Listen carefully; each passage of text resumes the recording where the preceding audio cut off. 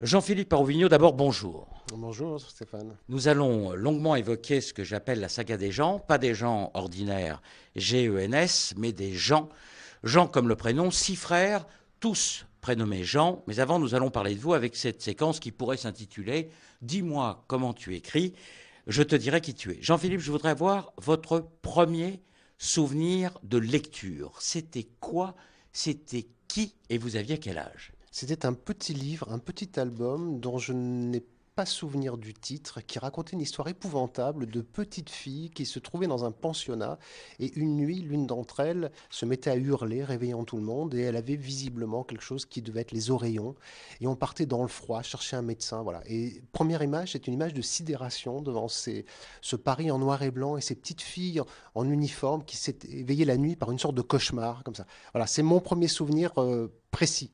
À quel moment ou quelle personne vous a donné l'envie, le goût d'écrire? Je crois que ce qui m'a vraiment donné envie d'écrire, c'est euh, un livre de mon grand-père qui était dans la bibliothèque, qui était signé Pierre Harou. Et il y avait dans les livres, avec tous ces noms étonnants, chaque SPA, des noms comme ça, un nom Pierre Harou. Et c'était mon grand-père. Et je me suis dit, ben voilà, ça existe, il y a des gens qui écrivent des livres, et pourquoi pas moi? Plus jeune, ado, l'âge de nos futurs intervenants, disons 12-13 ans, est-ce que vous pouviez déjà penser vivre de l'écriture ou alors est-ce que vous rêviez de faire complètement un autre métier?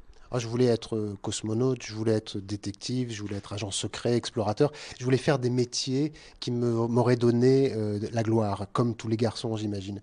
Et rapidement, je me suis aperçu que cette gloire, je ne pouvais pas l'obtenir par mes propres moyens, et que peut-être la meilleure façon de vivre tout ça, c'était de le vivre par, par les livres. Est-ce qu'il y a un lieu, un endroit particulier où vous rentrez en écriture? Non, vraiment, ça peut se passer partout. Je n'ai jamais eu de bureau. Alors au début, c'est un peu compliqué, c'est pour des raisons matérielles, mais finalement, je me suis habitué à écrire au contact des autres. Et c'est assez formidable parce que d'un coup, il y a un chat qui passe, et ben, ce chat, il rentre dans votre livre. Vous pouvez écrire euh, allongé dans un hamac, vous pouvez écrire dans le train, vous pouvez écrire n'importe où à peu près partout, je pense. J'arrive à me mettre dans une espèce de cloche de verre et à me déconnecter de cette réalité et à revenir quand je le souhaite. Il y a une espèce d'aller-retour entre l'écriture, l'imaginaire et la vie. Est-ce que vous avez un rite, un code quand vous écrivez? Est-ce que par exemple, vous écoutez de la musique? Est-ce que vous écrivez heure fixe, le matin très tôt, le soir? Non, j'ai mené toujours une double vie professionnelle, ayant été enseignant pendant longtemps. Donc j'ai toujours dû me ménager quand je pouvais des petits espaces d'écriture. Donc j'ai pas de moment privilégié. Je sais que le matin je suis meilleur que, que le soir, bien évidemment. Voilà, j'ai pas de rite. J'essaie de faire en sorte que ces temps soient des temps où je me mette au travail et que ce soit le plus régulièrement possible. Voilà, je crois que l'art du roman c'est un art dans le temps. Et il faut nécessairement y revenir régulièrement, presque tous les jours. Aucun jour sans une ligne. Vous écrivez à la plume, au stylo, au PC mon pauvre, si vous voyez comment j'écris à la plume, j'écris directement sur un ordinateur. Le reste est tellement cochonné. Je crois que j'ai dû avoir de mauvaises institutrices quand j'étais petit. Est-ce qu'il y a une personne référente? Autrement dit, est-ce qu'il y a une personne à qui vous pouvez confier votre travail en cours d'écriture et qui serait capable de vous dire ah, Mon pauvre Jean-Philippe, là, il va falloir que tu refasses tout? Oui, il n'y en a qu'une, c'est mon épouse, qui a toujours été ma première lectrice.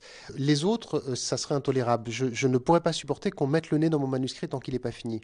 Mais elle, c'est elle qui euh, intervient en cas de panne, c'est elle à qui je confie mes difficultés, c'est elle qui lit le manuscrit en cours, qui me conseille, qui parfois dit effectivement, achetez. Si vous décidiez aujourd'hui de vous glisser dans la peau d'un écrivain, ce serait qui? Enid Blyton. Le Club des Cinq. Ce qui a marqué mon enfance. Je crois que j'ai lu tous les Clubs des Cinq dix mille fois.